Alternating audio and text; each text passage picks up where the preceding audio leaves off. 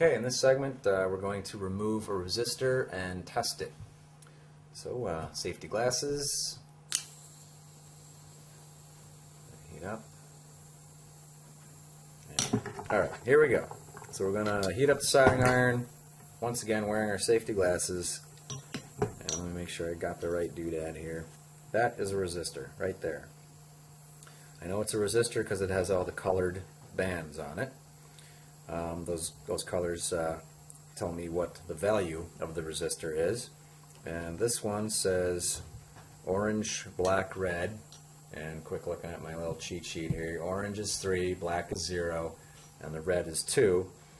So it's 3, 0, and then the red is 2, which means two zeros. So this should be a 3000 ohm resistor. The gold on the end is the tolerance, and gold is, I think, 10%. So this, this uh, resistor should be 3,000 ohms plus or minus 10%. So let's remove that.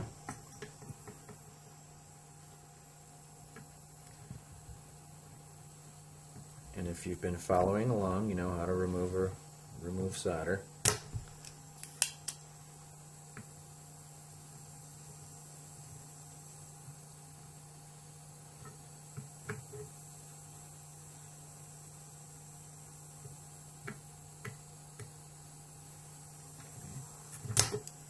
Some other junk in the way there.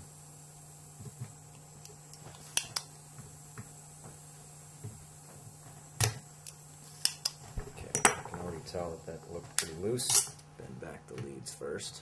Might be helpful. There we go.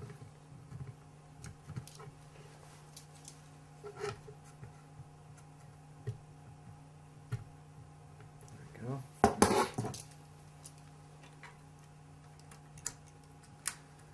Get that sucker out of there. There